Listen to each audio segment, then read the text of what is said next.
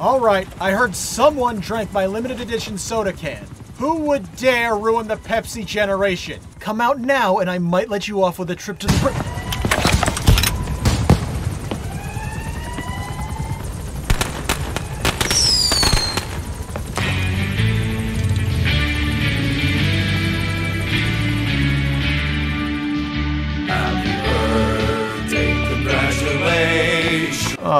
Congratulations. you guys, you shouldn't have. Happy birthday to you. Happy birthdays Happy birthday, boss. Aw, thanks, man. But, um, my birthday isn't for another few months. I think you have the wrong information and a nice looking cigar.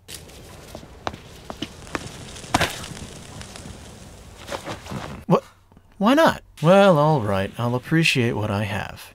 Which is the Pepsi can, right? No one actually drank that? Man, this was the best birthday ever. I even got to spar with Silent Mastodon for a while. Well, I heard it was gonna rain soon. I should probably head inside.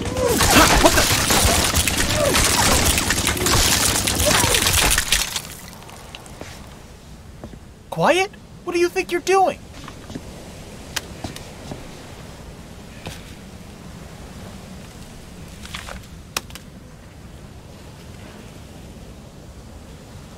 Okay, that's pretty cute, but you totally could have killed me. Well, at least I got my cigar. Probably could have held it with my fingers instead, but I live for the thrill. Well, I'd say it's time for bed. Wait, what's this? Whoa, guys! Your form sucks. Do better. Here, I'll give you pointers.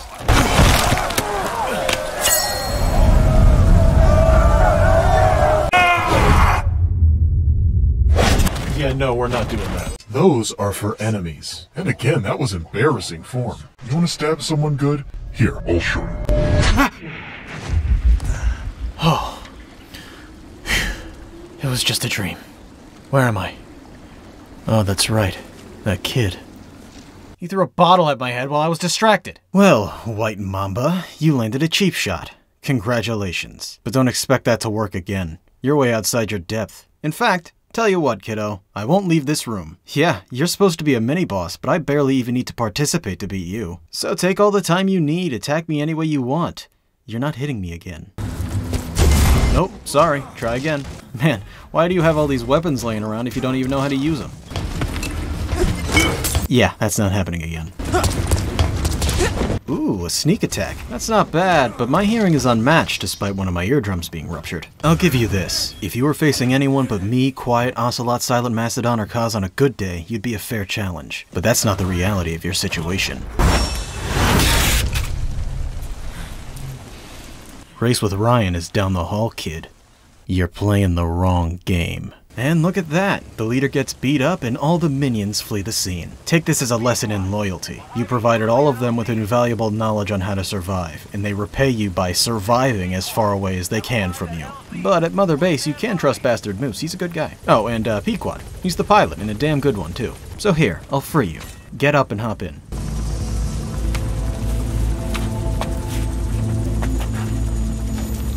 Obstinate little shit, aren't you? Well, whatever. At least put on a seatbelt. Alright, uh, well, while we head back, I'm gonna grade the mission. You can ignore it, don't worry, it's just something I do. This mission is okay. Pretty short, and as was shown, the mini-boss was nothing special. But some of the side objectives are neat. For instance, you can actually neutralize the White Mamba before he even has the chance to fight back. Yeah, just trank him from a distance and you're good to go. Guess you just needed an extra nap time, right? But then there's one for extracting 20 children. But even since Pitch Dark, I still don't have the means to just Fulton them. That would mean bringing all 20 to the helicopter. But there is a different way. While your Fultons don't work on kids, D-Walkers do. Using the Fulton Ballista gets the job done, although doing the whole mission like that is Interesting. There's also a Fulton rocket launcher you can buy that does the same thing, so if you bring both of those, it should be a piece of cake. Although I don't see why you can't just wait a few more missions to get the Fulton upgrade either. This is just if you have a serious OCD about doing side objectives as they come, like me. And while we're at this, why don't we go back and grade the last few missions as well? Retake the platform is short and sweet. It serves as a simple way of introducing the FOB system, and I'd say it does a pretty good job. There are no side objectives, nor is there a grade you can get, so this is more of a one and done. But it works well with that role. B tier. The war economy is meh, which is how I feel about the concept as well. It kinda works as an ultimate test of your eavesdropping skills if you go that route. But if you don't, then all you have to do is walk in, grab the PF official, and crate Fulton out of there. And you know I like that versatility. Aside from that though, it's fine. C tier. Why do my dreams always end with me getting stabbed on my birthday? Alright, we're here. This is Mother Base, home of the Diamond Dogs. Don't worry, there are other kids here. We set up a little playpen on the medical platform. I know it's a strange place to have it, but it seems to be where all the important stuff is.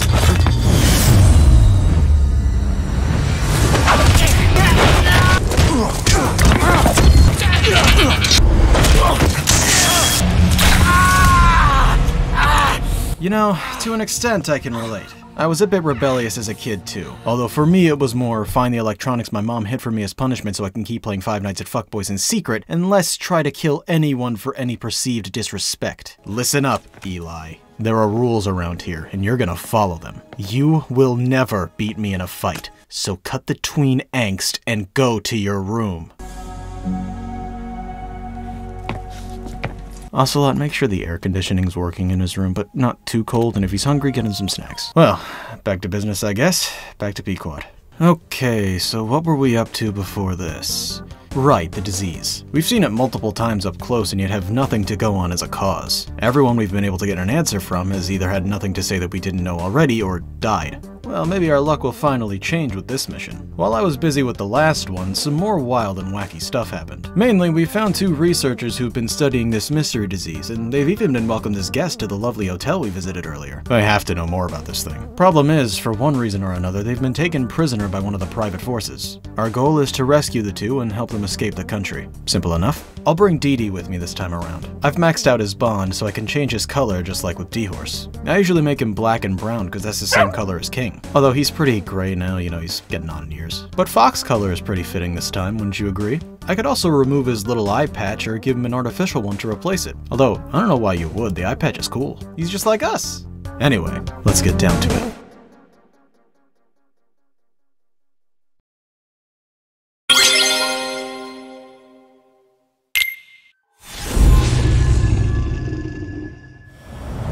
Hey, is it just me, or is that title kinda concerning? Fittingly enough, they're being held at a guard post close to where the Devil's House was. We're on a pretty strict time limit. Eventually, a squad of three will come around to pick them up and haul them off to who knows where. But at the same time, this place is pretty damn crowded. While I, and by I I mean Dee Dee, recons the area, I'll take this opportunity to place a few vehicle stunning mines on the road, just so those guys don't end up getting in the way. Funnily enough, though, in the time it took me to do that, one of the two prisoners made a break for it. Look at him go, with everyone none the wiser. Well, I suppose we should grab him and put him in our car. Since I put down the mines, I shouldn't have to worry about the fellas picking up the other prisoner, so I can take my time with this one. Either way, he's got some secrets to whisper into us. Already, he's not too promising of a lead, considering he sounds like he has no idea what the hell those blue growths were. Although he does have a theory as to what the deal was with putting earbuds in their throats. Perhaps it wasn't a treatment for whatever this is, but rather an amplifier. Whatever was transmitted into their lungs, or vocal cords or whatever, is what let the sickness develop in the body. Could they be trying to workshop this into a weapon? Little bit of biological warfare, Skullface? Feisty. It's a bit strange though. When I had Miller scan through the audio recordings they took from my microphone in that place, there was nothing similar about any of them. As I mentioned before, the ones I heard were playing different languages, and the audio they were playing was nothing special. Just news broadcasts and TV shows with no underlying theme to link them together. In related news, this guy escaped without the other prisoner because he believes she has the disease. Apparently her protective suit ripped at one point, so he's convinced that she's screwed anyway. Hmm. Does this change things? Should I go back and get the other one if she's a potential risk? Well, against my better judgment, I will. Oh, what? There was a second vehicle coming? God damn it, I didn't take D-Walker or D-Horse, I can't keep up with this. Well, when you shoot vehicles, they always stop and inspect the area for who the hell did that. So that's probably my best bet. That's not my best bet. Ah, if I don't save her now, they're gonna kill her. Maybe she has the disease, but she also might have the answers we need. Alright, if it'll shut the damn trumpet up! Need to help her. We're potentially saving thousands here. We can't let any potential lead die. For the time being, though, we don't get much out of her. We know that she's been working on this thing for five years with no real results, but that doesn't mean she won't be of assistance. As for if she herself has it, probably not. She insists her protective gear was always intact and she shows no symptoms. It's really her word against his, but my judgment is that I've seen what that disease does to people. And her? She ain't rocking the look. That's all there is to this mission. The side objectives are on the lamer side. Extract some funny flowers, some silly sheep, some brainless birds, and some crazy cars, and lead me nowhere. And considering that I am made for that, I'll give to the mission's credit that the stealth is pretty satisfying. I'm tempted to say that this is another nothing mission, but maybe that would be too harsh. It's alright. The male researcher added to cause that none of the audio that was being forced into those poor bastards over there was in English. All separate languages, but none of them the most spoken one. That's a strange exception. For the time being, we should have them separate from the rest in case they do have the disease. We set up a quarantine platform just in case, and they seem like perfect fits for the first guests. Speaking of guests,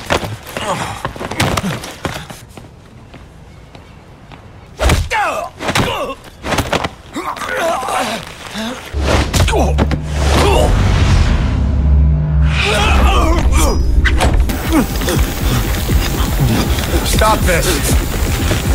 Now!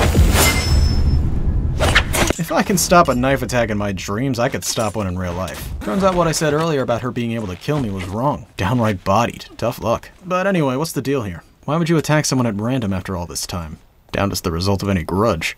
Hmm, doesn't matter, I guess. Attempted murder isn't full murder in my book. She's exonerated. Let's go straight into the next mission. This is coming from that same general from Blood Runs Deep. The one with the child soldiers and the platoon leader or whatever. And this one also involves child soldiers. You see, another band of them have come up, similar to Eli's group, going around picking on the shitty adults. They've even kidnapped the general's own brother. Naturally, he isn't pleased with this development. He had always hoped his brother would meet his fate via alligators, not children with AKs. He wants us to find and rescue the poor little fella. But on top of that, extract the commander of those wannabes to stop them from moving forward. Problem is, this guy's withheld information about a job once already. Chances are this brother of his is actually a ghost or a goblin or something. We'll just have to go and see for ourselves.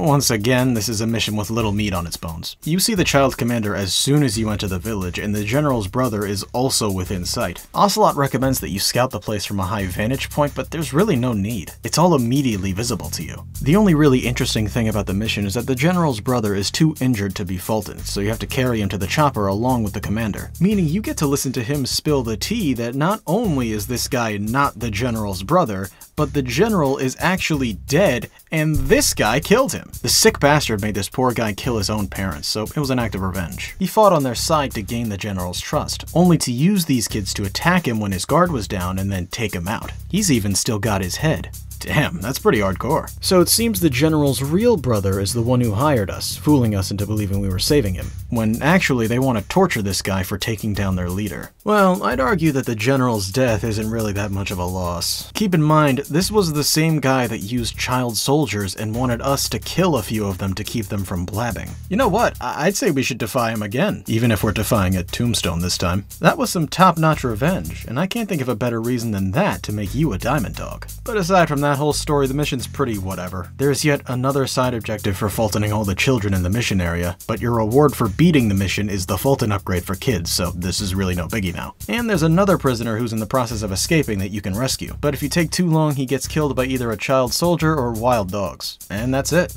I'm getting a bit worried that this will become a trend. Doubtful we'll get paid from the General's brother or any more work from them after going against their requests twice now. But that's alright. We don't need their spotty record to dirty ours.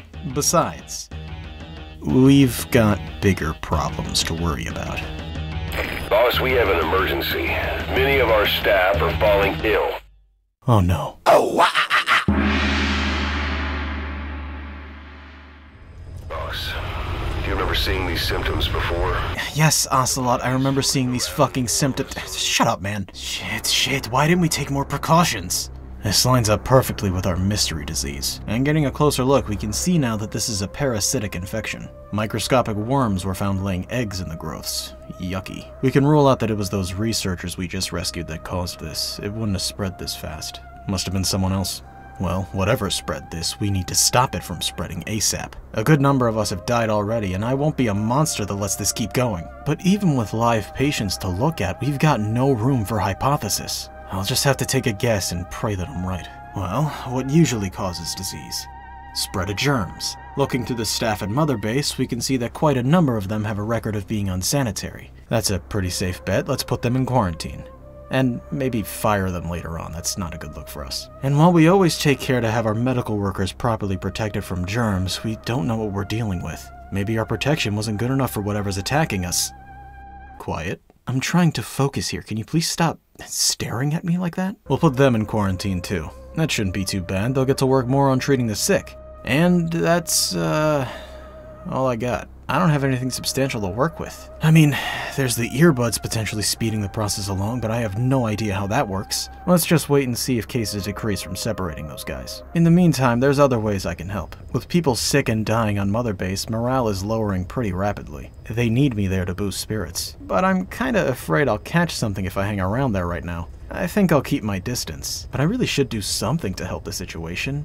Um. Hey guys, it's me, Big Boss, here to say howdy. I'm just being safe and wearing a mask. You wouldn't want me being sick, would you? Also wearing my iconic sneaking suit just so you know it's me. I've only worn it like two times, but it looks pretty good on me, doesn't it? I'm also wearing a glove over my bionic arm. Just doing it to feel normal, you know? I, I miss my arm a lot. See, to prove it's me, I'll kick your fucking ass. No one but Big Boss is allowed to do that to us. It feels pretty cathartic. Excuse me, guys, while I take my classic shower. This is Silent Mastodon reporting. The mission is going well so far. Absolutely no one suspects me. It's a good thing our voices are very similar. Hey, you know, just me, Big Boss, and the license I definitely have. Alright, who just attempted to assassinate me? Okay, so while he's at that, I guess I'll just get back to missions as normal. Someone's gotta pay the bills around here. Also, this next one might just get us closer to solving the issue. Another PF official is hanging around our area of operations that might be of some importance. You see, he has a side gig of rounding people up and selling them. He's a human trafficker. And as human trafficking goes, his quote-unquote livestock ends up going wherever his buyer wants. But some poor souls ended up in, you guessed it, in Zoyaba Diabulu. He's even the prick that captured Shabani. He willingly put a child into the arms of people who used him as a guinea pig. So why do we want him? Well, it's highly doubtful he'll have any info on what the cause of the disease is, considering he was just the supplier. But if we interrogate him, we could find out who we sold these people to. Working our way up the chain, we'll eventually find someone who we can get the information out of. Preferably Skullface, but we'll take anything we can get. Let's do this quick.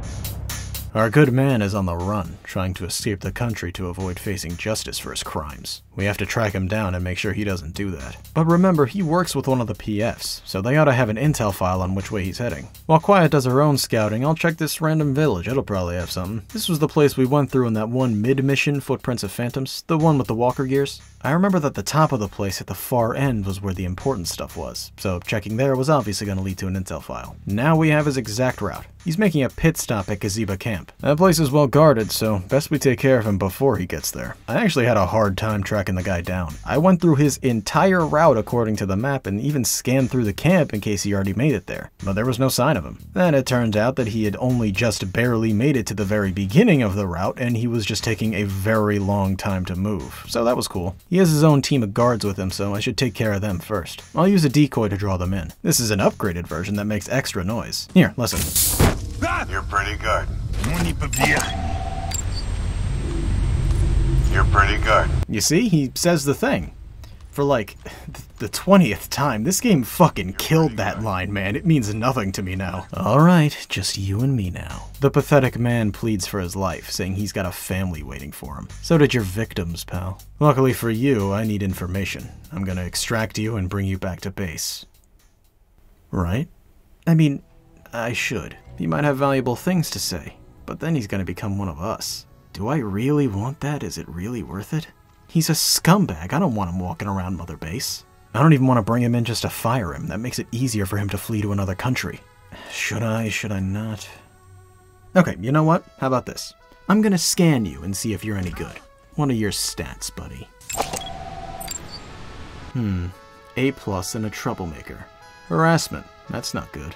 Sorry, you don't meet my standards. Target confirmed dead. Your objective's complete. We'll figure something out. We don't need him. The only side objective worth noting is that there are four prisoners in that village we got the intel file from. Not because it's interesting or anything, but because I think it's very irresponsible to be bringing new people in unless it's absolutely necessary. Well, actually, I guess it's better this than for them to be tortured and killed, so never mind. We'll just put them straight into quarantine. On the plus side, one of them had a unique ability that's very much worth mentioning. He unlocks a new upgrade for D-Walker. A new head, specifically. The previous one is what gave it the ability to use stealth camo. Unfortunately, putting a new head on removes the ability that the last one had. But I wouldn't worry about that because this new one gives you search mode. What does search mode do? Well, I'm glad you asked. While being close enough to a base, you can have it scan the area and mark everyone inside it. That's not a new thing, of course, but I would like you to keep in mind that not only is this thing the fastest way to traverse the maps, not only is it a weapon of mass destruction with three guns attached to it, not only can you somehow use stealth with it, not only can you use CQC with it, but now it has the best feature of two other buddies. And here's the kicker, it does it the best out of them. DD can't fully mark, but D-Walker can. Quiet takes a good bit to scout an area and she leaves out people in buildings, but D-Walker is the quickest and does mark people in buildings. Trading this off for stealth camo is a fantastic deal. But I must again say, we're not done. Because basically, right after you develop the surveillance head, you unlock the final one, the auto intercept head. You, you want to know what this one does? it fights for you. That's right, that was basically the second main thing Quiet had going for her, but this robot can also do that. Did they playtest this? Did they not realize how insanely OP D-Walker was? I honestly think they did know, but thought, ah, fuck it, it's too fun to nerf. And God bless them for that, I love this thing so much. I will say though, auto-intercept is pretty limited. It can only use the guns in its torso, not the side-mounted one or the arm. It also can't move on its own, so it's more like your own personal gun emplacement. I think Search is the better ability, but this is still ridiculous. Because keep in mind that you have a good selection of torso guns you can use. And if you want to change from one head to another, you can just have it change to a different loadout in the field. It's fair to say that D-Walker's head game is out of this world. And there you have it. That's why this Swiss Army knife of a buddy is the best of them. DD and Quiet aren't obsolete. Quiet is the better defender by a good margin, and DD is situationally a better marker, mainly for bases that are larger than its search range. But overall, it's outclassed them. This is the best thing Huey's ever made, including Hal. Taking another look at how things are doing, cases of the disease have unsurprisingly not dropped. So it's not a general spread of germs issue, but what is it? this is giving me another headache. I need to think of something before it's too late. We've already had one mother base get torn apart thanks to XOF. Now they're doing it all over again. But thankfully, finally, it seems that we have a solid lead. One of our intel team members seems to have found something. Something that can actually put an end to this. But bad news, he got captured by the enemy. How many times is this gonna happen? The intel team can't go three seconds without getting their asses captured. I'm starting to think it's a kink, Kojima. Ugh. Alright, it's our only hope now. Don't you die on me, soldier. I'm coming to save you. Spoilers, this is absolutely another nothing mission, so I'm just gonna speed through it. The village where he's being held is right next to our drop-off point, and there are two soldiers willing to give up where he is right where you enter from. Either that or use search mode to immediately find him. It's a straight shot to the guy minus a few guards you have to trank, but no, what's this? He escaped. He takes the truck and drives right out of there. I sprinted to try and keep up with him, but for some inexplicable reason, he starts driving toward a cliff and then just jumps out? Not sure what that's about. Well, if you didn't get captured in the first place and do whatever the hell that was, I'd be very impressed with you right now. Let's just get you out of here and talking. Mission complete. Only side objective is to extract him before he gets in the truck. Extremely short and bad mission. See me after class. Good work as always, boss. I couldn't help but notice that you missed a few material crates that were in the guard post, though. There was a yellow one with a water droplet marked on it. I believe that means that it's urine. It could prove useful to us, and, uh, you know what? Screw this. I'm done asking nicely, boss. Get me my piss box right fucking now. You're not gonna believe this shit. He fucking died on his way back. You've gotta be kidding me. It's not the end of the world, though, because he did say something vital before he went. He figured out that there's someone who knows the disease more than anyone else. Someone who can cure it. His name is apparently Code Talker, and the intel we got gave us his exact location. There's a mansion at the top of the map that I haven't been to yet. That's where he is. Perfect. We finally have a strong lead. But there's one last thing that's bugging me. Apparently, this man is very old, which gives us an idea of who that guy they were talking about back in that one mission was. But, as you're probably aware, elderly people die the easiest from disease. If we bring this guy to Mother Base, he could die before being able to really help. And then we'd have nothing. No choice but to wait for the disease to take us. We can't have that. We should quarantine everyone who's sick first. But I can't do that without knowing who's sick. It's time I really did some deep thinking. I could figure it out. I mean, I'm a smart guy. I can deduce and analyze. Have you seen how long my videos are? Do you know who you're dealing with? My mind's always clearest when I'm in the field doing my thing. So let's do it there. Okay, so what is everything we know? These blue growths are either caused or amplified by the audio being transmitted to the host through those earbuds. Let's assume amplified. I have no idea how that works, so I'll put it to the side for now. Maybe the fact that kids aren't affected by it could give us a clue. If the host's body is too young, the parasite doesn't really function. Could it be age that does it? Maybe when the body ages, there's some sort of maturation in the cells that can be exploited to infect the body. Kinda like a reverse version of chickenpox, but way worse. Nah, that wouldn't really make sense. Adults can get that too. It's just not as frequent. I don't think there's a disease that only targets certain age groups. There are ones that are a lot more common in certain groups, but not any that are exclusive to them. Besides, Shabani was slightly infected and he wasn't a young child or an adult, he was in between, so that rules that out. The cause has to be related to the earbuds. But how in the hell? Audio attracting parasites? That's unheard of, pardon the pun. And either way, I have no solid proof of this. But for the sake of going down every possible avenue, I have to consider it. I mean, this is a Kojima project, it could be something absurd like that. Maybe it's the subject matter of the audio. Something happening in other countries, you know, current events. I mean, that's the only reason I can think of that none of it was in English. Well, as I said, there was nothing really connecting each tape together.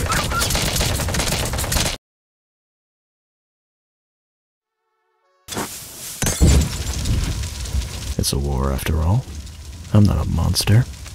It's a war after all.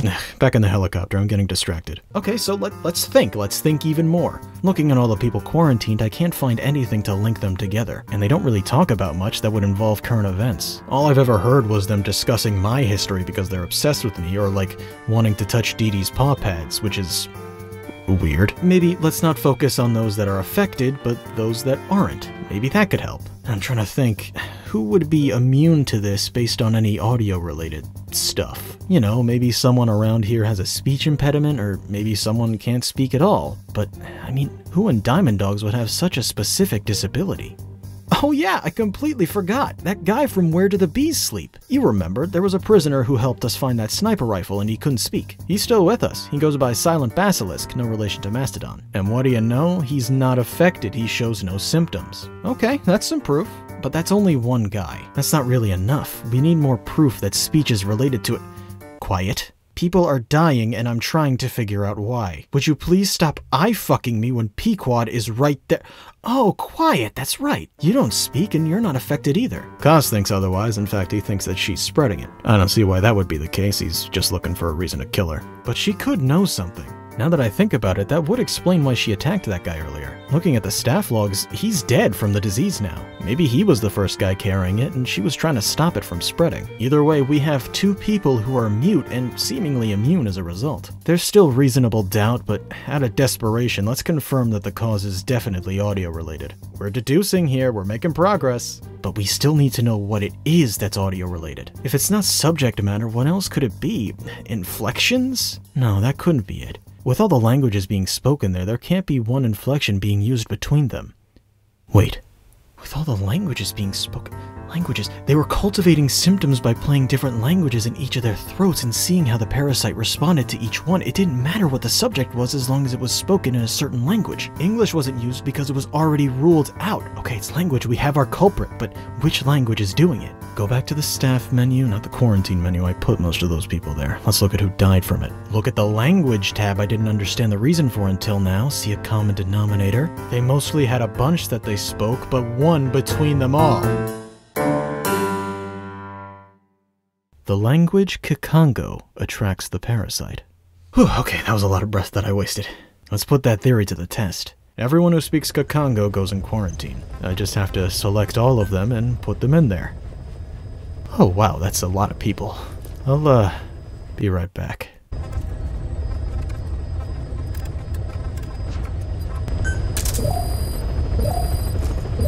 Alright, we'll quarantine the staff you specified. Incredible, boss. Thanks to you, the number of new victims has plummeted. And a common point between the infected. Is it really possible for a disease to spread because of that? I guess so, man. I did it. I figured it out. I'm like a billionaire in my brain. Well, now that the place is nice and tidy, let's go get this code talker fellow. See if we can get this sorted out. Although we do have some downtime before that, so there's a tape I've been putting off listening to until now. It's about Eli. We haven't heard him talk much, but Eli has a British accent. Not yet, Snake! It's not over yet! On top of the skin tone, that really makes him unique from the others. Why does he talk wrong? Kaz was looking into it and figured something interesting out. In case you don't know your Metal Gear lore too well, when Zero and Co. were fleshing out their plans for Cipher, they wanted to have capable soldiers worthy of defending them. And who else could make a good soldier but the best soldier? So if he passed on his genes to the next generation, if you catch my drift, he'll spawn some strong guys. They figured Big Boss wouldn't be for this idea, so they had to do it in secret. Zero, like, jerked him off in a sleep or something and got a good sample of his DNA. They then fertilized an egg, in this case Eva's, to bring this weird ass project to fruition, and that's how the miracle of life happens. This project would then come to be known as Les Enfants Terribles, the Terrible Children. A name like that, they just asked for it to be cursed. I don't know why the fuck they named it that. There were a few duds, but three made it out of the womb. The ones we would come to know as Liquid, Solidus, and of course, Solid Snake. Once Big Boss figured out what happened, it was the straw that broke the camel's back.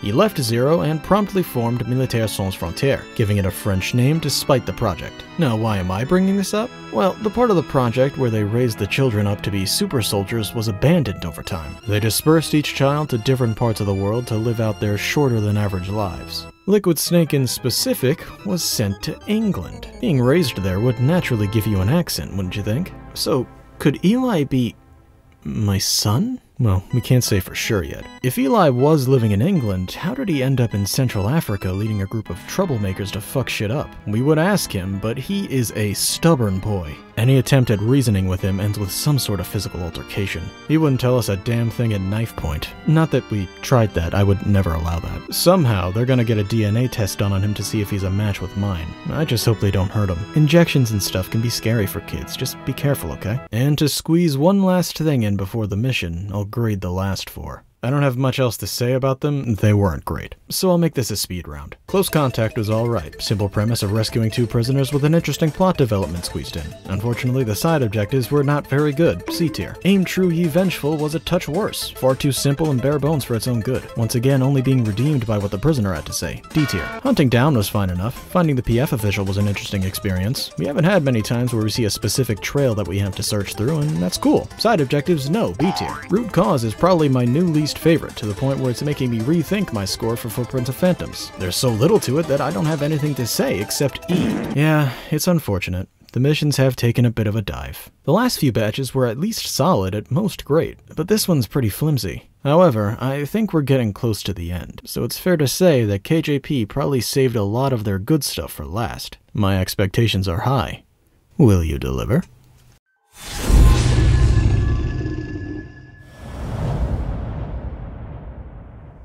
Much like with Hellbound, the Huey mission, I have to enter this one on foot. This mansion is located deep within the jungle, so it's only natural to set the mood by walking through it. If you remember though, there were rumors of people walking into this place and not making it out, which makes the fact that everything is so calm around here very strange. Although once you do make it a few dozen meters, a familiar mist comes in. Alright, fair enough. Bring on those machete-wielding dweebs, I could take them. Oh, but wait just one minute. These aren't the big ones. They aren't even the small ones. Lady skulls that specialize in sniping. You heard that right, they mass produced Quiet. And all four of them aren't gonna let me see Code Talker without a fight. Now, when you see four Quiets, you might think that my criticisms of her fight are about to be quelled. Well, not really, but I still think I might prefer this. That's mainly because they're a lot different than they seem just from looking at them. Quiet's fight was the end part 2. An open area, she attacks at all angles, cat and mouse. This is a more unique spin on the sniper duel. As opposed to cat and mouse, it's more like cat and whack-a-mole. And the goal is equally to push through them as it is to beat them. There hasn't been a skulls encounter that you couldn't escape from, and this is no different. If you just make it to the end of the jungle, they leave you be, they don't get paid enough to deal with that. But if you're not a bitch, then fighting them is good enough fun. Each Skull is a dumbed down version of Quiet with less health and easier to spot. No offense, ladies. But the fact that they work together gives them the ability to do something that even the End couldn't overwhelm you. No matter what situation you're in, if you have two laser sights trained on you, you're gonna panic. But if you didn't get familiar with your surroundings, you probably just landed on a flat plane and made yourself an easier target. One thing I didn't mention about Quiet's battle was that if you hit her while being within close proximity, she leaps away and drops a grenade at your feet. Mary Kate, Ashley, Elizabeth, and the secret unlockable one can also do that, meaning it's probably gonna happen a lot more often. And when it does, it of course encourages you to move away, putting you in the open. There were a lot of moments in the fight where they had me stuck in a really specific spot that I couldn't move an inch from and made me use my head to figure a way out of it. In this case, it was decoys. If they really get you in their sights, they might just go in for a physical attack. They've got machetes too, it's just not their main weapon. And unlike the other variants where they're using it pretty often, these ones don't use it enough to let you get the counter timing down. It's not too bad though, because it's rare that they'll use it anyway. And with all of them knocked out, we have a clear path to our destination. Hmm. You know, that whole thing reminds me, I should have Quiet dropped in here, shouldn't I? Provide cover from the outside and whatnot. Ugh, look at me. I'm a mess. Well, as long as the sight of a guy with blood on his face doesn't give the old man a heart attack, we should be okay. Whoa, look at this place. That's a nice pad you've stolen there. For whatever reason, Quiet can't scout the location right now, so it's up to me to know where the enemies are. And this is especially difficult because they heard the commotion over in the jungle. This puts them in caution mode automatically, which puts me in discomfort mode automatically. More than ever before, I need to make sure there's no room for failure. If anything goes wrong, Code Talker could be taken away or even killed, leaving us with nothing. As this is a pretty big place, there are multiple entrances. One at the front, two at the back, and a few on the sides. Whichever way you go, the inside is luckily not very crowded. There's some comms equipment inside as well. If you think a long way back, you'll remember that if you destroy this stuff, they can't get back up in case things get hairy. But destroying it would definitely make noise with explosives or bullets. Would be really useful to take this out, but how? Wait, that's right. I always keep a water pistol on me.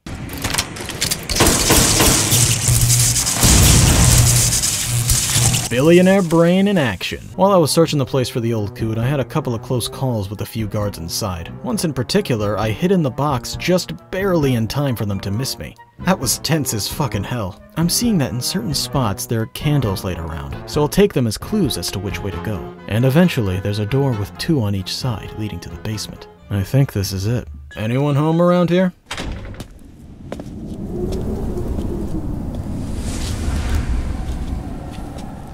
I've been waiting, Tilly. What should I say?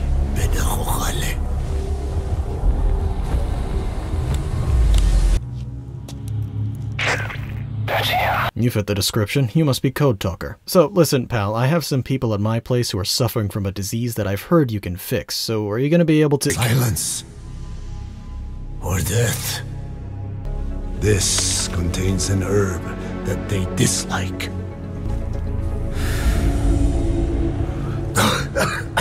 Good. That should deafen them for a while. Alright, friend, thanks for the fat boof. From him, we finally get a solid explanation on what this thing is. It's known as the vocal cord parasite. The way it functions is that the parasite works its way down the throat and attaches itself to the vocal cords. When certain types of sound are triggered from the vocal cords, it allows them to breed and feast on the host's insides until they die. And from there, they can explore. It's viral through droplets. When the host coughs, the parasite can travel to another host, and the cycle continues from there. Truth is, most people on Mother Base are probably infected, but since most of them don't trigger the sounds that the parasite likes, in this case Kikongo, they're safe and the parasite will die out in them. But they still make excellent carriers for those that do speak it. Here's the part that might surprise you though. Kikongo isn't the only strain of the virus. They were cultivating multiple different strains of it at the Devil's House, not just one. We don't know how many there are, but it's likely that there are versions for all five major languages outside of English. Is Skullface trying to wipe out certain languages as a form of genocide? No way to tell if that's what he's going for specifically, but either way, we've found it. The weapon to surpass Metal Gear. But one thing at a time. Code Talker says that once the virus has reached a certain stage in the body, there's no saving it. Best to put the infected down at that point. But if they're still in earlier stages, he can cure them, and he's fully willing to. He was taken against his will by Skullface to develop this virus to the point of it being a threat to the world. He doesn't want to let that happen any more than we do. It's fair to say, Welcome to Diamond Dogs, Code Talker. Now all we have to do is get him to the chopper and head back to Mother Base double time. However, there's a problem. A group of the PFs has completed their search of the jungle and confirmed that there was a struggle and someone took out the skulls there. They consider whoever can do that to be a major threat, so they're treating it accordingly. Reinforcements. Lots and lots of reinforcements. But I thought I destroyed the comms equipment. They must have called it in before I did that. There are extra soldiers coming in with better equipment, a helicopter flying around, and through my scope's microphone, I can hear an armored vehicle. The only good place I can have Pequod meet us is right through this stream of backup. And sneaking through them like this is impossible. I mean, I can try going through the trees and hoping they won't see me, but is it worth the risk? If Code Talker gets shot once, it's over. Not only will Mother Base be screwed, but his help might be valuable to the rest of the world too. I have to kill them. I don't have a choice. I'm doing this for a good cause. It's worth a few lost lives. Oh, to hell with it. What's the point of putting this facade up any longer? I could sneak past them if I wanted to, but I don't. I've held myself back for too long now, and it's getting annoying. Look at me, covered in blood. Why does it matter whose it is? Trying to be a good person? What a load of shit. You can't become a force to be reckoned with without being feared in the first place. Sneaking through every situation and being careful to always use non-lethal methods makes Diamond Dogs look pathetic. I already do good things. I save animals, I save prisoners, I take child soldiers out of the battlefield and give them a good education outside of how to fight. I made sure to figure out the cause of the virus so I could save as many people as possible. So what if a few people die along the way? Nothing I haven't done before. I just thought that this time around, I could try and be something else, something more passive and friendly. But what has that lifestyle taken away from me? I don't speak to people much anymore, I just listen and do what people tell me to do. In every cassette tape, I don't speak even though I am there when it's being recorded. Maybe I am the main character by literal definition, but sometimes it feels like Ocelot and Kaz are instead, and they aren't even on screen for most of the game. No, I'm done being this way. Being a phantom of my former self, always operating with some silly crutch I've imposed, a melody always beckoning me to do what I wanted to do anyway, that ends now. And if being myself makes me a monster, so be it. Huh. Would you look at that? The trumpet's gone. Kaz, drop my emergency loadout. I'm gonna need it.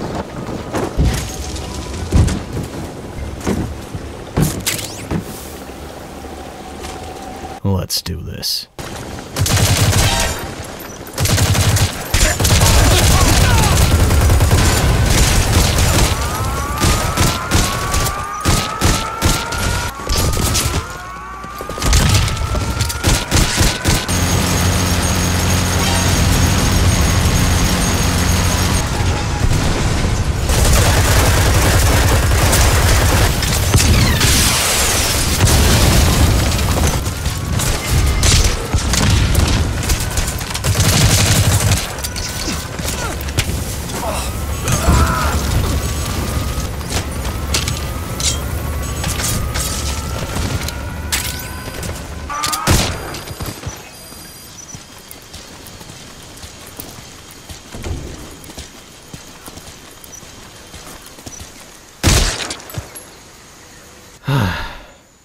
Felt good. Liberating. Big Boss is back. I shouldn't have to feel bad anyway. It's a game, after all. Oh, right. Code Talker. With everyone dealt with, we can leave safely. With some time before we get back, he can explain a bit more about this cure. It's actually a different type of parasite known as Wolbachia. Once injected into the body, the Wolbachia targets the parasite and turns all the males into females, stopping them from reproducing. It's pretty difficult to explain, but to put it as simply as possible, it stops the parasite from laying eggs, leading to them all dying out. It does come at a price, though. The Wolbachia that gets injected into your body is still a parasite, and it renders those who have it infertile for life. None of your genes can be passed to the next generation. That's a shame for some of the soldiers, but it's a price worth paying to be saved from a terrible fate. As a side note, sometimes the vocal cord parasite can be used to strengthen the host. For instance, a certain sniper that operated in Tselinoyarsk was found to have been a host for them, but his body took them differently, granting him strange powers. I'm not sure why he specifically was given a justification for his abilities and not the Fear who can climb trees super fast and jump absurd distances, or the Sorrow who is a ghost, or the Pain who can control all bees, but whatever gets you hard. Skullface somehow was able to see how that worked in his body and took a sample of it. Eventually, he optimized them and gave it to a group of his soldiers, granting them insane speed and strength, as well as other fun abilities like hardening your skin with rocks and making mist happen. So yeah, that's what the skulls are. Fucked up XOF soldiers. Guess that's how Quiet has her powers too. After that whole explanation, Code Talker asks a very strange question. That being if we've seen an XOF vehicle before. And yeah, we have. The one with the yellow cake in it. Why? What became of it? The metallic archaea. The what now? Clouds ahead! It's them. Who? The skulls? No, th this mist is different. It's brown. What the hell? Is it aging the helicopter? Why is it rusting so quick? Ah, shit, we're going down. Brace yourselves!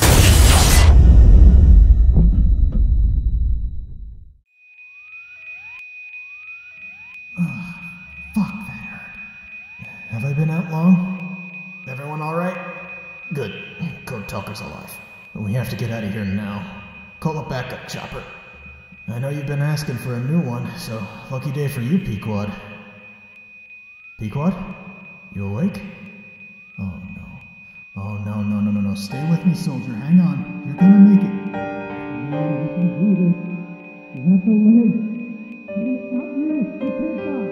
You can't go. Pequod. Do I even need to go over what happened next? It was the skulls using some newer ability I didn't know about. I had to fight them to clear the mist. YouTube probably wouldn't let me show you what I did to them in my blind rage, so let's just say they didn't get to run off this time. Now that I know that they're human, it made me feel better knowing that they have sentience and can feel every bullet. Once I was satisfied, I called in a backup chopper and put Code Talker in there. We won. We made it out of there alive. But Pequod, he he only just told me about his wife that he hated.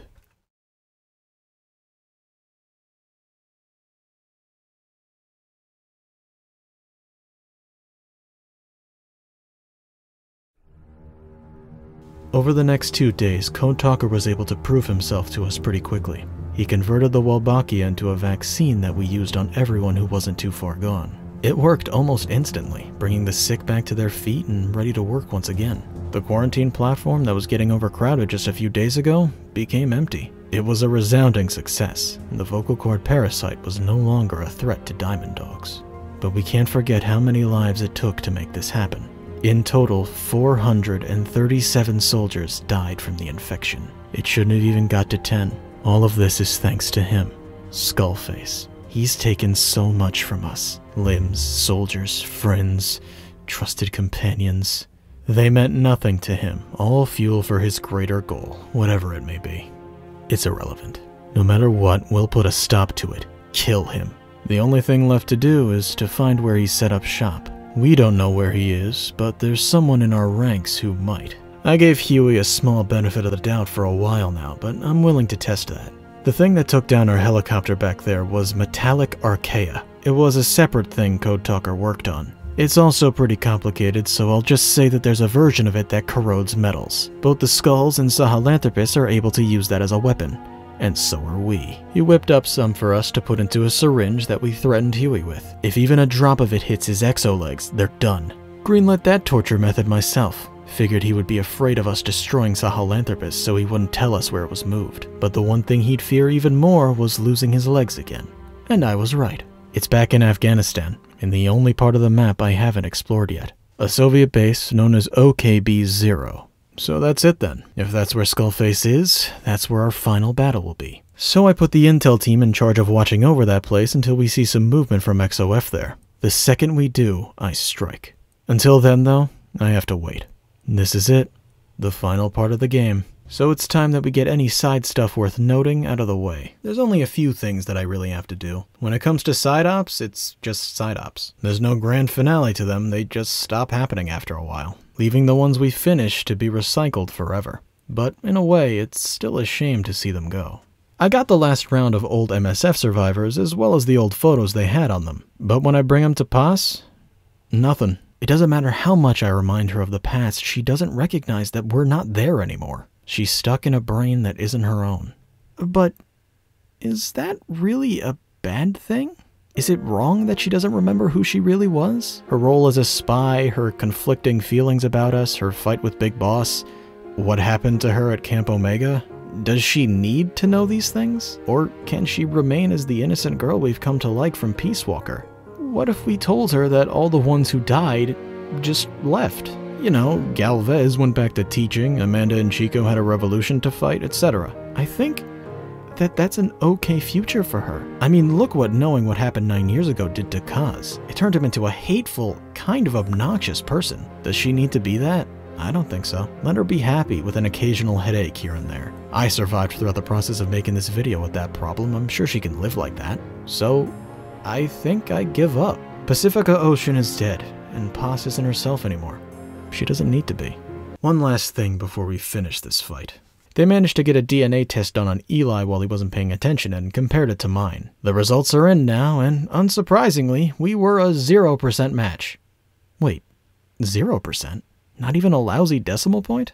That's weird. But he's a perfect fit. His age, his accent, his appearance all line up with being Liquid Snake. The helicopter even stopped talking after he showed up. He has to be my son. Well, apparently the type of test they conducted isn't official, so maybe it's off or something. I think Eli has the suspicion that we're related too. Whenever he gets aggressive, which is all the fucking time, he always talks about killing me and only me. He has a grudge against me specifically. And using the future as a reference, Liquid felt the same exact way, even talking about how he used to live under me like he's doing now. He hates the idea of being a clone, especially of a man that he despises. And I guess I could understand. He was bred for war and war alone and suffers with that knowledge all the time. I know I would hate that. I'm gonna have to assume that the test was wrong for now. Until stronger evidence comes out, that's my boy, and you can't change that. Now, with that stuff out of the way, it's time we moved on for the last time. We just got word from the intel team. XOF is making moves, big ones. They've released the Russian and Pashto strands of the vocal cord parasite in Afghanistan. All of the Soviets and Mujahideen in the area are dead. Skullface is planning something, and he wants us to see what it is. He's practically calling us over with a move like that. Hm. Well, let's give him what he wants. I'm heading over there straight away, but not just me. Kaz, Ocelot, Quiet, D-Horse, DD, Huey, and Silent Mastodon are all coming with. No one's gonna miss this. Are you ready? This is the end, and we're gonna see it through.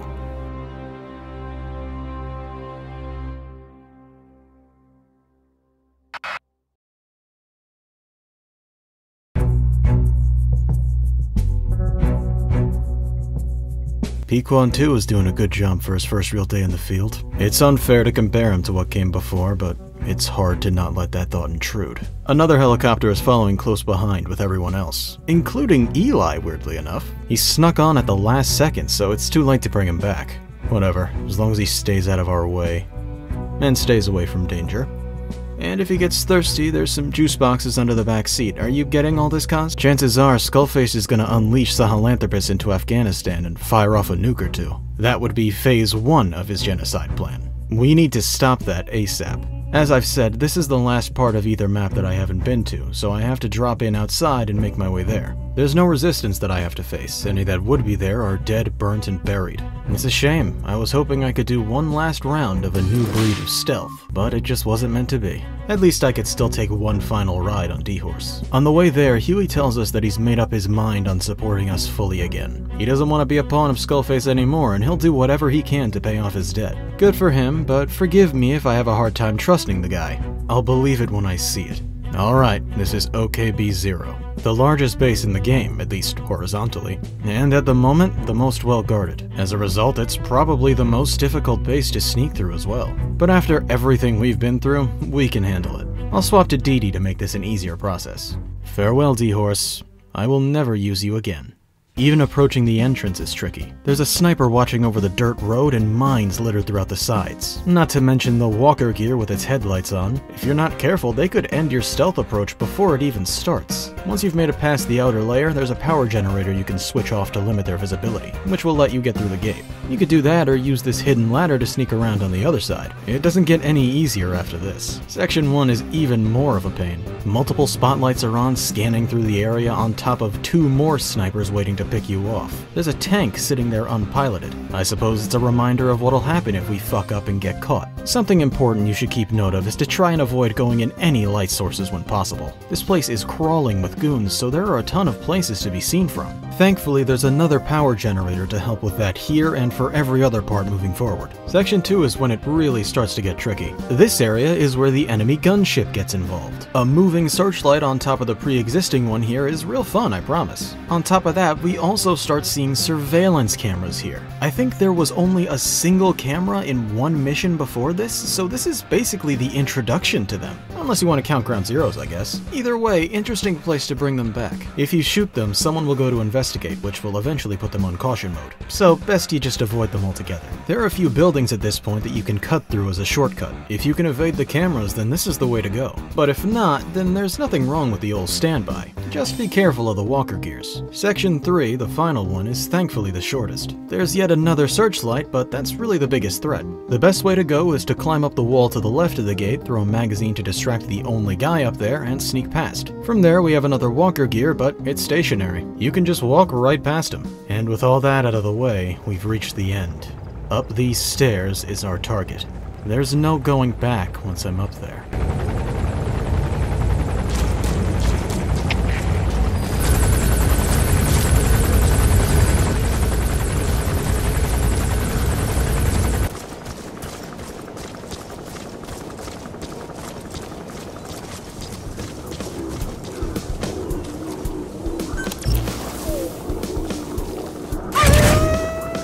And now that everyone in the base is marked, no one can escape.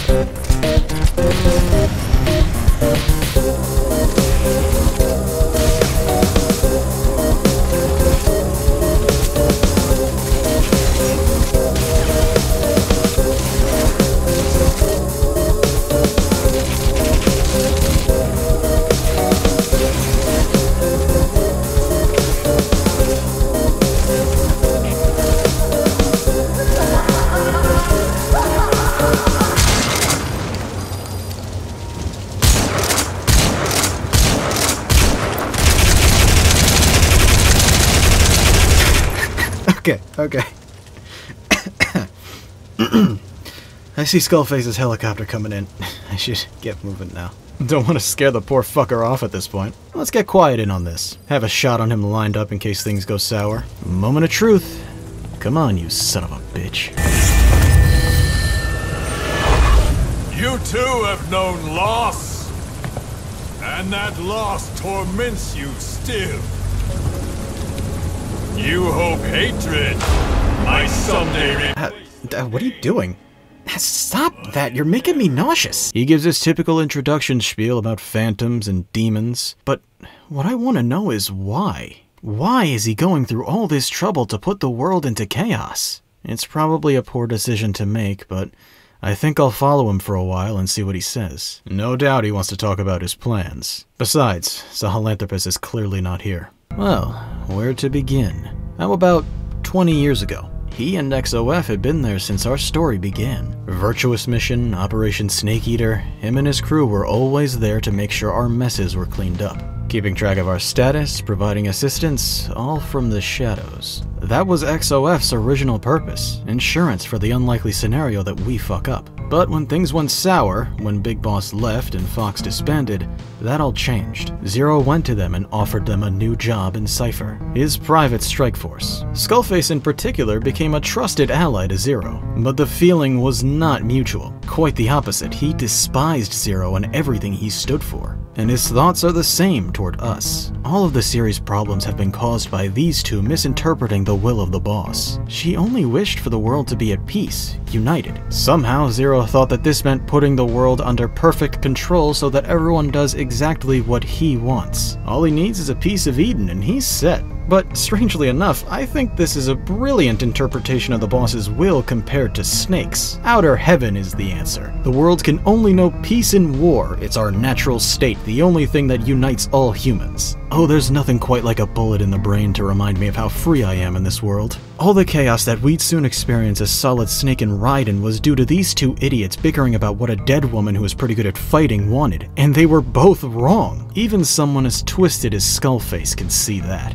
To backtrack a bit, Skullface was born in a Transylvanian village. Due to this being during a very turbulent period of history, it was quite familiar to being raided and conquered. First, it was the Germans who forced him to change his way of life, everything down to the very language he spoke. Then later, the Soviets came and did the same exact thing. His village would keep moving to different parts of Europe, each one having a new way of life and a different tongue. When you're forced to learn a different language in your upbringing, it can change you. Because the more you understand the people's words, the more you understand the people. And just as he grew acclimated to this new culture, he was ripped away and forced into yet another one. By the time he was an adult, Skullface was an amalgamation of different languages and cultures, while having completely forgotten the one he came from. Imagine trying to think about what your upbringing would have been like in a perfect world, but you can't because you no longer have anything to go on. Completely stripped of his own past, his own culture. Sure, he may be filled with knowledge about tons of other cultures, but that doesn't change the fact that the flesh of his village was burned away from him. That's the metaphorical reason that he looks that way. The real reason is that burning oil spilled on him as a kid, but that's not relevant, and he's certainly not the only person that this has happened to. Earlier, I said that there were five languages outside of English, but I'm sure most of you know that's plainly false. There are roughly 7,000 languages currently in the world. There are many small villages and communities that have their own tongue exclusive to them. And if that seems like a lot, studies have put the amount of languages in human history around the 30,000 mark. But over the centuries, that number has been cut down time and time again thanks to colonization. Thousands, if not millions of people have had their language ripped away from them along with their home, forced to speak the way that the people with the guns do. And along with that, they have to change their lifestyle. Those two changes very often go hand in hand. This has been a problem that's plagued humanity ever since we uttered our first words. But the UN only recognizes the six languages most spoken. They don't want to acknowledge how many skull faces there are. It was later on in life when he was working under Zero that he realized something. Cipher's goal is to unify the world by force. That exact philosophy is just what many world powers already have, only to a smaller extent and by different means. Zero's no different from the people who took his past away from him. So, what must be done is simple. Cipher must be destroyed. The code which Cipher plans to use for its world-conquering AI is in one language, English, the largest one in the world, although Mandarin Chinese is catching up. The most rational way to topple such a Goliath is to cut off the source of its power, and that's where the vocal cord parasite comes in. Thus far, he's only used it in an attempt to remove annoyances. The Hamid, Malak's group, the Soviets, and Mujahideen just now, and us. But that's not its main purpose, far from it. The final strain of the virus, and the strongest one, is English. They weren't testing English at the Devil's House because they already had it. This is Skullface's plan to cut down Cipher, cut down Zero. First, he'll kill us. Then, using Sahelanthropus, he launches a nuke. While the world and the AI are in a frenzy, maybe putting their fingers on their own big red buttons, he unleashes the parasite. Can't you see? This is what the boss wanted her true will being achieved not by her friend or her pupil, but Skullface. This is how it was meant to be. The true liberator, the true unification of the world. Peace will be achieved by destroying the English language. Jesus fucking Christ. You don't see any problems with your plan, Skullfuck? You don't think way too many people are gonna die? English takes up like a quarter of the population of the planet. You'd be killing nearly 2 billion people.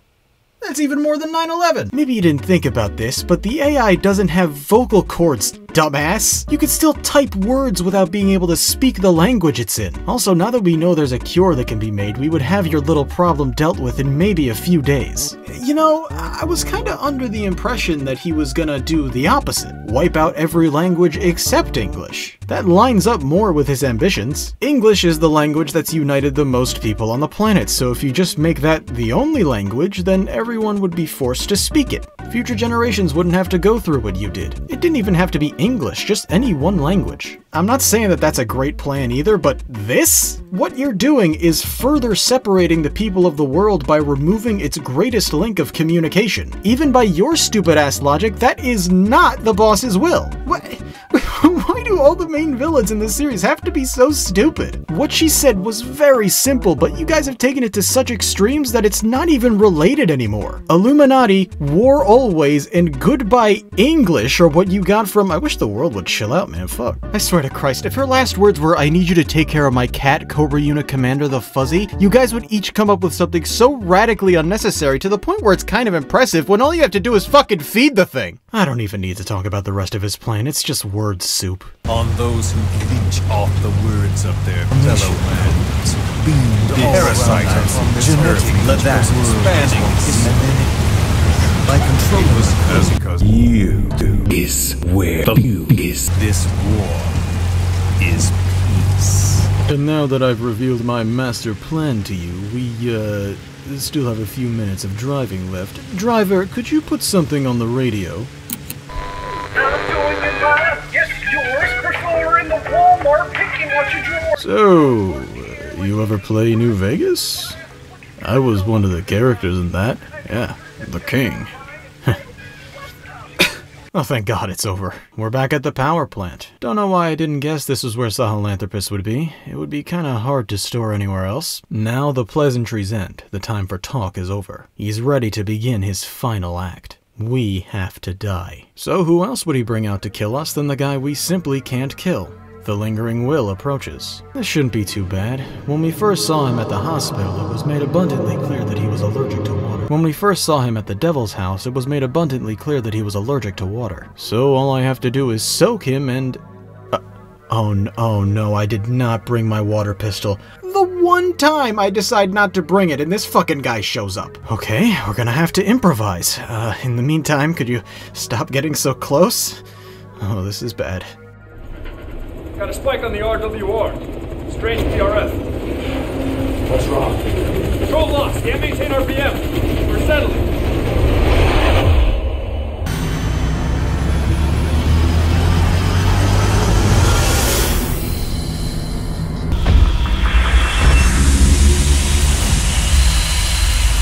Huh?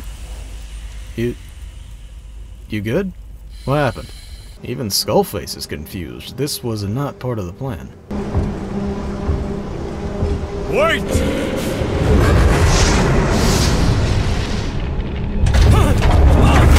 And that wasn't part of the plan either. Don't you control the psychic? Such a lust for revenge?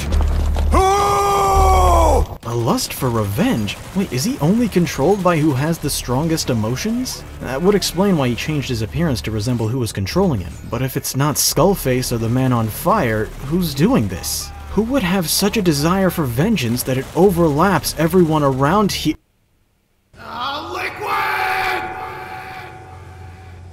Sahelanthropus is online. I repeat, Sahelanthropus is online. No one's safe this time. XOF is getting stomped. This is not working. I can't outrun this thing, and it's blaring MP3s of what dinosaurs supposedly sounded like. I have to rely on XOF attempting to take it down as a distraction, but it's not lasting long. This thing can obliterate tanks and helicopters with a metallic Archaea sword that they must have installed since last time. As a matter of fact, Cipher will rewrite the records, and I will vanish from human memory. But the thirst for revenge that I have planted will infest the system. Major, I'm burning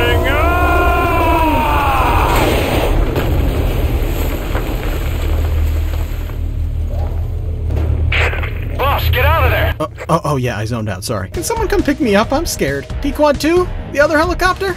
I, I can't beat this thing, there's no way. I couldn't do it last time. Damn it, I'm screwed! Pause. This is a bad situation. Of course it is. Ain't the first one we've been in. We survived the toughest things that this cruel world has to offer, and I'm not just talking about nine plus years ago. Since we got to Afghanistan, we took on the Soviets, the Skulls, Walker Gears, three different PFs. Mother Base was attacked again, and we survived. We faced a plague, and we survived. Right now, Skullface is buried under some rubble, bleeding out. While we get knocked down for the umpteenth time and once again get up, dust ourselves off, and ready ourselves for the next blow. Maybe we aren't saints, maybe we're just cockroaches. But that doesn't mean we aren't damn good at it. If Sahelanthropus becomes public, the world will get thrown into a frenzy. Vocal cord parasite or not, it could mean the end of civilization as we know it. Like always, we can't let that happen. We couldn't beat it before, but we're stronger now. We have tools that no one else does. Tools that could bring its upright stance to a pathetic grovel. We're better than a kid playing with a toy. We will win. Now cue that overly hype music!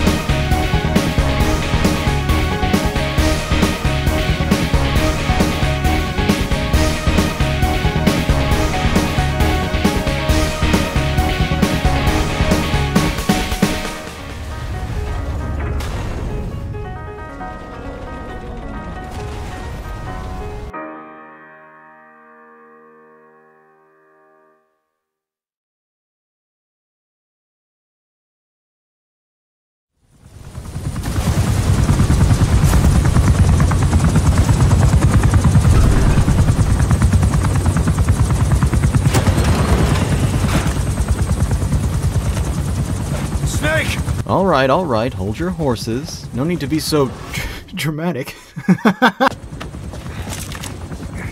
we can kiss later. We still have some business to attend to. Oh, and Eli, you are so grounded when we get home. You and your little psychic friend over there. But before that, Let's see Skullface.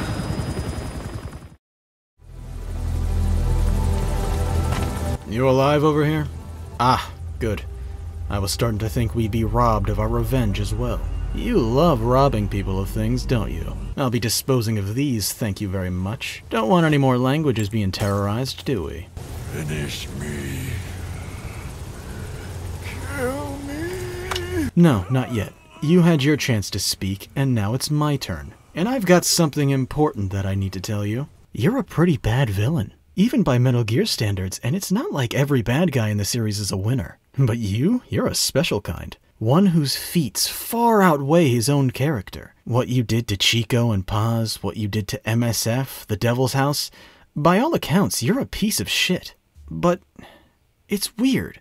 I get angry when I think about those things, but when I'm staring at you, I just get bored. Because just as a person, you're rather boring. What, you lost your culture so now everyone has to feel that pain? That's ridiculous, unrealistic, downright idiotic, but most of all, yawn inducing. No wonder no one's gonna remember you. You're not memorable. All honesty, this was more about the journey than the destination. We destroyed Sahelanthropus, XOF has a bunch of bloody stains on the floor, and the parasite is gone. You dying here is really secondary. You rank in the villain tier list down with Hot Coldman, and his name was Hot Coldman. And in the end, you lost control because of a child who's gonna end up being better at your job. But while you're still here, you might as well serve your final purpose as the target of our revenge. So, this is for MSF. This is for Chico. This is for Pequod. Get the fuck off me! This is for everyone who died from the parasite! This is for burdening me with the trumpet! This is for Gohan! And this. This is for me.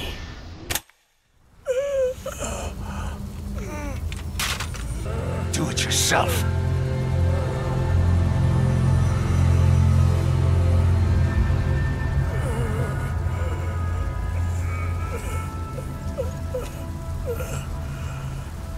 Mission complete, boss. A fitting end, making him suffer the pain we did. Exactly what he wanted to do to the world. But he doesn't need to worry, because his time in this world is coming to an end.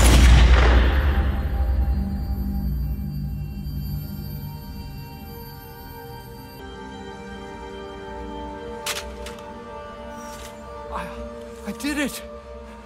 Revenge!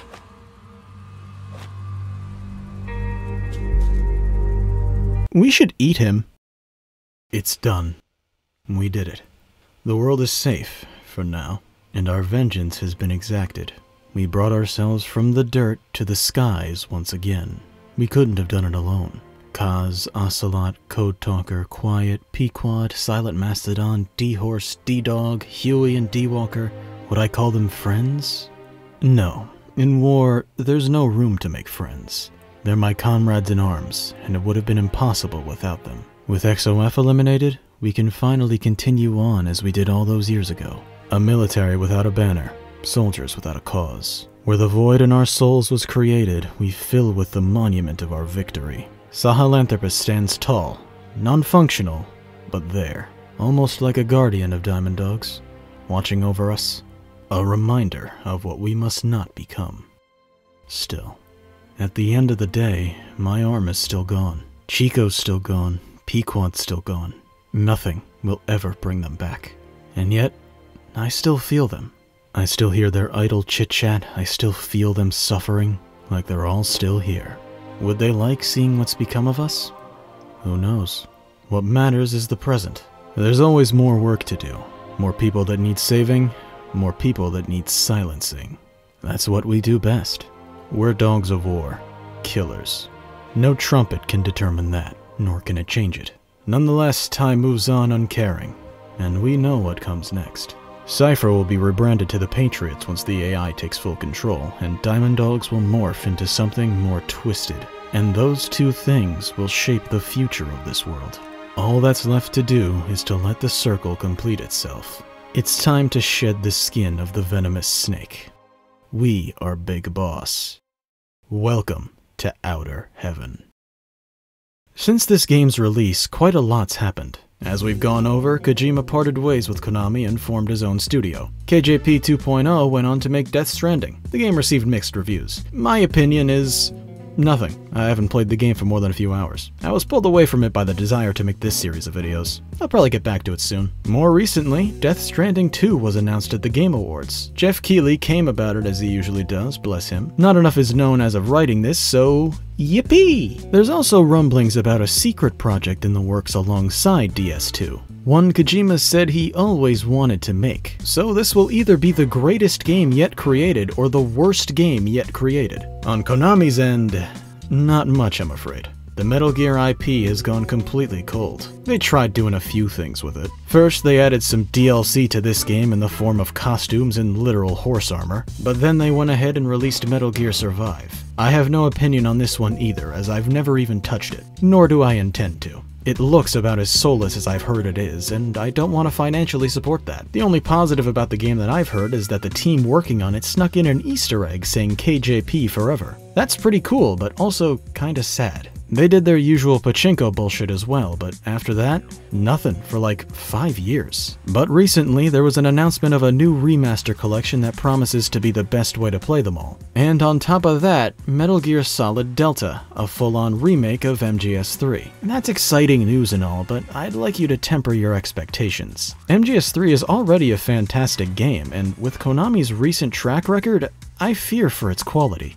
But hey, here's hoping this comment ages poorly. After they're done with that, I honestly think the series should rest in peace. Say what you want about Kojima, but without him, the series will never be the same. No point in beating a buried horse skeleton. We've explored basically every part of the timeline that needs exploring, and even a few that didn't. The story is about as complete as it can be, and to this guy, that's enough. Well, we finally did it. After over a year, this video series is coming to a close. I guess that means it's time to give my final thoughts. I mean, that's how these usually go. You might be surprised at what I'm about to say considering the title. Metal Gear Solid 5 is one of the greatest games ever made. I mean that with 100% sincerity, there's no lie this time.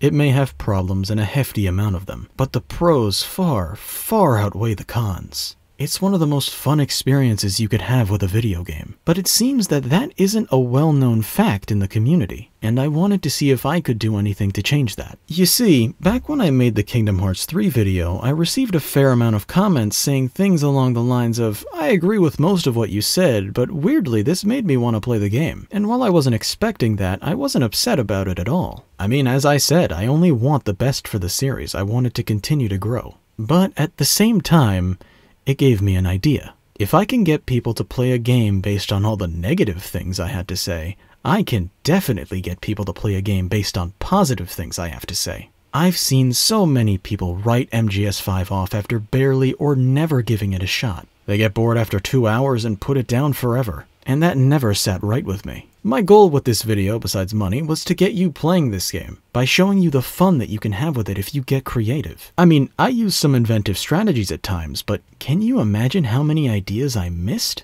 Ideas you might have had yourself while watching? You might have noticed that I slowed down when it came to showing cool strategies and side objectives as the series went on. That's not because the game got more restrictive. I intended to hook you with part 2 and get you wondering about what else there is after it. I don't want to give you every single detail from the game, there are things that I want you to discover for yourself. I've been keeping a very close eye on the comments for each part, and I'm happy to report that my strategies worked on a good number of people. To all those who gave it a fair shake thanks to me, I sincerely hope you had a great time. And I also hope you learned something about the game you didn't know before from this series of videos. I was validated on that by reading the comments too. Well, a few comments taught me some things I didn't know you could do. And as for the rest of you, I've tried to be subtle about it up until this point, but now that I've revealed my intentions to you, I'm just gonna tell you flat out. Play Metal Gear Solid 5 The Phantom Pain. If you haven't given it a shot, or if you have but didn't really get into it, play it because I don't think there will be another opportunity. I believe that this is a once in a lifetime game, a true passion project that simply can't be replicated. The game's legacy unfortunately revolves around the controversy between Kojima and Konami, and I think it deserves more than that. It should be seen as the swan song to a fantastic series that had the same love poured into it that all the others did, and it certainly shouldn't be taken for granted. I love this game, but I fear that there will never be another like it. And that really sucks.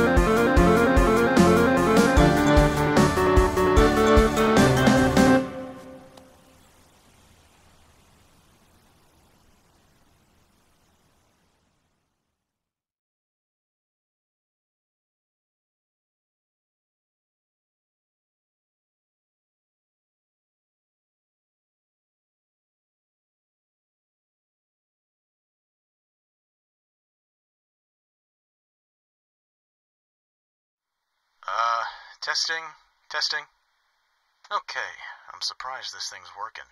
It's old, you never know. So the date is May 30th, 2022. I recently put out part 1 of MGS5 Sucks and I Love It.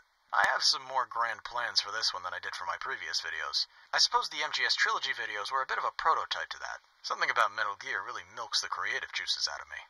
Hmm, maybe I should rephrase that. Nah. I don't know if I'll end up following through, but I certainly hope I do. What I do know is that some weird stuff has been going on. Some odd captions have been popping up on both Part 1 and test uploads of Part 2. It's really been bugging me, like, it's really annoying. And every time I think about it, some weird melody starts playing in my head. It sounds like some kind of trumpet, but it's too quiet to tell. That's not the only one either. It's not always a trumpet. One time I heard one that sounded like a xylophone or a marimba. Mm, it was hard to describe. I don't know if this will continue, but I'm oddly tempted to keep the captions up. Maybe a viewer will be able to figure out what it means. In case this audio is made public and you're potentially that viewer, well, firstly, I hope you enjoy what you've been seeing so far, but also, let me leave you with this message. Some things are meant to be looked into. You really need to open your eyes to find a hidden meaning. So, try to do that. Hell, open a third eye if you can. Don't entrench yourself in any lies. You'd be doing me a massive favor. After all, putting the pieces together will make things clearer. Try to find where the truth is. Well, I'm off to do whatever project I've decided to do next at this point. I tend to take my sweet time with this stuff, but maybe it won't be as painful of a wait this time. First, I'm gonna make a sandwich, though. I'm hungry. Wait, shit, did I get bread at the supermarket? Oh, whatever. Hopefully, I'll be back before You can count to five.